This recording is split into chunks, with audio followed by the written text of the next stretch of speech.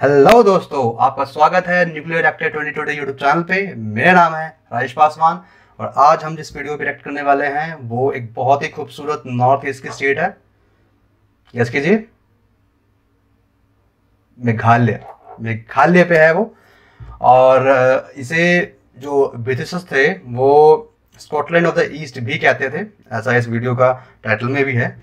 और मुझे ये रिकमेंड किया है स्टीवन सन ने इंस्टाग्राम पे। सो फाइनली अगर आप मेरी वीडियो देख रहे हैं तो मैं आपकी वीडियो रिकमेंडेड वीडियो पे रिएक्शन दे रहा हूँ। और बाकी उनने भी जि, जिसने मुझे रिकमेंड किया है आपकी वीडियो पे भी आएगा। थोड़ा सब्र रखिए सब पे आएगा।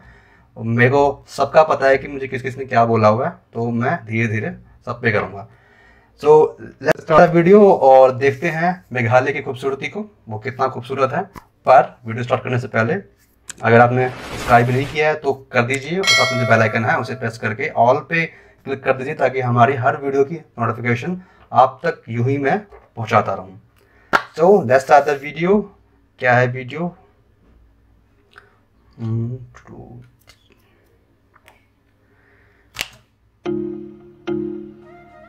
north east series four wow पानी कितना सही है यार। ऐसे झील ऐसी झील ना यहाँ पर भी है पास में Meghalaya. It was nicknamed Scotland of the East Wow. by the British Empire. Meghalaya is probably the most beautiful state of India. वो तो This है state is blessed with abundant greenery, wettest place on earth, crystal clear river, है countless waterfalls, high hills, and amazing culture. Its capital city is Shillong. Shillong Meghalaya is not only a destination for nature lovers, but it is also an abode for music lovers. Concert हो रहा है Shillong is also known as the rock capital of India. हाँ वो तो सुना है मैंने walk capital है वो सभी अच्छे अच्छे रॉक बैंड वहीं पर हैं There are three dominant tribes in Meghalaya the Khasis, Khasis. the Garos, No. and the Zentias, अच्छा with many subtribes within. One unique culture worth bringing to your attention is Meghalaya follows a matrilineal system, which means the youngest daughter of the family inherits all ancestral property and after marriage, wow. husband live in a mother-in-law's home. Oh, acha. husband lives in a mother-in-law's home. This beautiful and peaceful spot state has lots to offer to eh? tourists in its menu Let me highlight you some of the favorite tourist destinations. दिखाओ दिखाओ Praise is after you to discover. Cherrapunji and the Seven Sisters waterfall Falls. तो बहुत सही है यार Cherrapunji and seven sister falls खूबसूरत है Maulinong. मॉय Mawlynnong Guinness village of Asia इसके बारे में सुना है मैंने गिनेस विलेज ऑफ एशिया के बारे में सुना है कि वहाँ एक बहुत ही साफ सुथरा गाँव है वो ये ब्रिज बड़े फेमस है Bridge. मेरे काफ़ी दोस्त गए हैं तो उन्होंने बताया मुझे डबल डेकर Lightlam Viewpoint. लम व्यू पॉइंट वाह भाई सही में क्या नज़ारा है यार।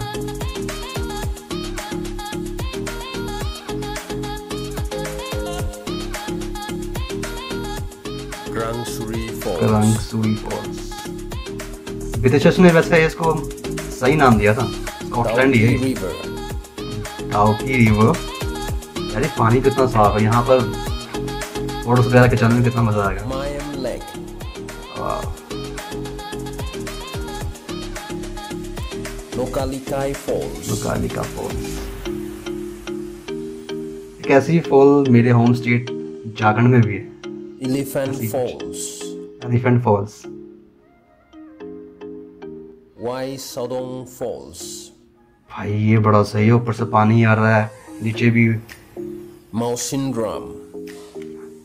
It's just placed in India wettest place in India Mawsynram इसके बारे में तो सुना है। जीके में काफ़ी आता है। NH7 rock capital of. India हाँ। ये तो मैंने एक वीडियो करी है। वो उसमें भी ये वाला सीन है। अगर नहीं, नहीं देखा है तो मिल जाएगा ऊपर। List Link. goes on. Meghalaya and Northeast India इधर होगा या इधर होगा। must visit place for everyone once in a lifetime.